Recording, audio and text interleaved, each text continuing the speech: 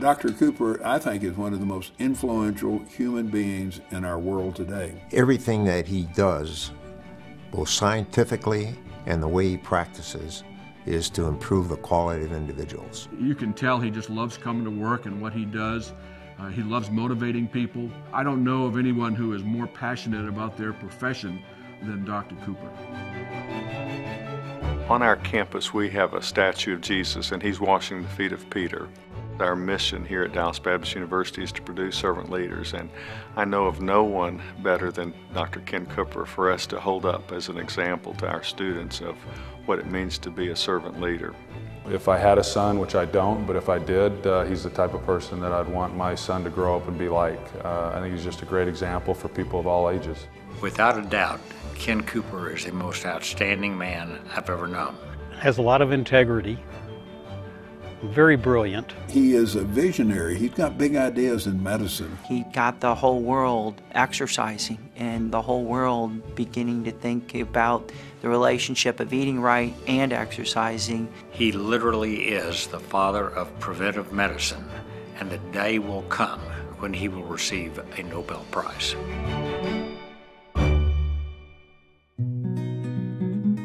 My father grew up in Oklahoma and, and, was an athlete. He did actually play football in high school uh, and then went on to focus on running and basketball and then actually in college ran track and cross country. And so had a lot of success with that. And so that was kind of his foundation of where the importance of exercise came from went on to medical school, but it was in the military where he was allowed some freedom to really focus his research that he grew and blossomed. That the military was a tremendous point of turning his focus and efforts towards exercise and medicine. He was the first to truly quantify fitness through empirical research. Before him, there was the Framingham study of the 50s where they studied, you know, exercise and how it might correlate in later life with health. But Dr. Cooper was truly the first guy to do where the rubber meets the road. Within the Air Force, he got tasked with, for NASA actually, what are the effects of long-term space travel? How do you overcome that with exercise? And so he started doing research and ultimately just kept intriguing him to figure out, can I ultimately prove what I believe to be the truth, which is that exercise improves your health? He got into this research to try to see how much air and oxygen people were taking in when they were exercising. But then he comes up with the term aerobics, and he actually establishes a term that's in the dictionary now. I frequently use the word aerobics, which literally means with air or with oxygen. And the ability of the body to utilize large amounts of oxygen is the real secret to physical fitness. Most of healthcare was when you're sick, come to see us. And what Ken said is no, before you get sick, this is what you should be thinking about. So he was on the other side of the fence, which is perfect if you're trying to have young, healthy guys and you're trying to get them ready to go into combat to meet these incredible demands that they have. They should be prepared like Olympic athletes. I was working with special services at Fort Sill, Oklahoma. Here he was a single doctor, and I wouldn't at least been interested, you know, because there was a lot of different guys to date. And, and so anyway, he asked me out, and it was, and I don't know, it was just, thought, well, why not, you know. We went to a movie, and I will never forget it. It was The Old Man in the Sea with Spencer Tracy. And for the first time in my life, I just felt a, a calmness. I mean, there wasn't someplace else I was looking to go or some party to go to. It was so funny because he, we didn't date very long after that because I was 24 and he was 28. So it all started just kind of quickly. And, uh, but I think the fact that, that I did, I saw in Ken something special. And then it was in 68 when he wrote the first book, Aerobics, and published it, became an international bestseller that all the acclaim and the interest started coming, which opened doors and opportunities for him left and right to say, hey, I'm really onto something here. Not only do I believe in this in the mission, but now I've been provided a material opportunity to go and take this and do something with it. Word leadership, by definition, means that you are ahead of everybody else. And quite often that means new ideas, and quite often new ideas are very controversial. Everybody looks at Ken Cooper today. He's the father of preventive medicine, all sorts of accolades and awards. When he started, he had unbelievable resistance that he persevered and survived and would not give up. When his book first came out in 1968, there was, uh, and I can't remember the, the, the newspaper in New York um, that did a review of his book. And the, the review came out to be something, it was very negative, and it came out to say something like, Dr. Cooper will kill more people in his approach than Adolf Hitler. The concept of men over the age of 40 running, there were people who said the streets of Dallas are going to be full of corpses. And I said, Ken, do you believe with all your heart that preventive medicine is the medicine of the future? He said, I know it is. And then I said, well, you stay the course. And he did.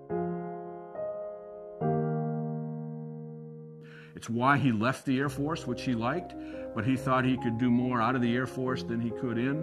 And, uh, and I think that's true. That was a tremendous um, courage, amount of courage that it took to walk away from being four years away, I believe, from full retirement in the Air Force and the lieutenant colonel probably going to progress and walking away with a five-year-old and a pregnant wife and with not a lot of money just to chase this idea was probably the one of the biggest turning points of his life.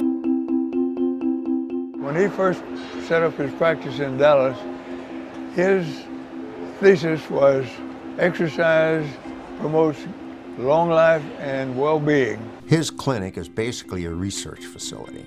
And that's how he started, and that's how he supported this whole concept of the value of aerobics. Ken Cooper has changed the lives of so many people, including me, uh, in terms of just making sure that one of your top priorities is maintaining good health. I shouldn't be here. I was 38 years old and I was 538 pounds. People don't survive. I lost the 300 pounds because he had this place here. If he hadn't opened up this place 40 years ago, then I wouldn't have had a place to come to in 2002. But since he did, and he was supportive of me, and he treated me like a son, all right, I was able to lose the 300 pounds. I was able to find my wife on a blind date from a member here who set me up with her, Kelly. We went on a blind date, we got married, and now we have three beautiful and healthy children. We've had many of our folks go through his program, lose significant amount of weight, stop smoking, uh, just lead much healthier lives. He has changed how the Air Force approaches fitness and a healthy lifestyle, not only for the men and women in uniform, but also for their families. In Brazil, they call jogging the Cooper. You do your Cooper. And, and so he's been able to have an influence literally worldwide. And now in China, where he's over lecturing uh, frequently about the Chinese in transforming over a billion people to a healthier lifestyle. His approach is very practical and very doable. People can relate to that, and when you can relate to something, you increase the probability that you're going to do it greatly. And when you start doing it, it makes a big difference in your life. My father is very proud of what he's accomplished work-wise, but what I always hear him say that he's most proud of is his family. Even though he's so famous and busy all the time, he always took time out for my brother and I. What we've been able to contribute as a unit, as a family unit, is what he's most proud of. The fact that we're a tight family and we care about each other and we're close, uh, in that we all share the same beliefs, that's definitely what he's most proud of. Because if he accomplished everything in the world with his work and his family had fallen apart, I know him very well, and I know that he would have been extremely dissatisfied with his life. God blessed me well when I was brought into his life because he's just, he's my mentor. He's my motivator and just as special as God is, he's, that's how special he is to me. The biggest lesson I've learned from my father, number one, is my faith. Uh, my dad leads his life from faith and instilled that in me, and I found it on my own in my own life, and I agree with him in that. But beyond that, it's, it's dedication and discipline to what you believe. If you truly believe something and you feel called to do it, then no matter the barriers that come in front of you, you go around them, you go through them, you go over them, but you keep moving forward, you don't quit.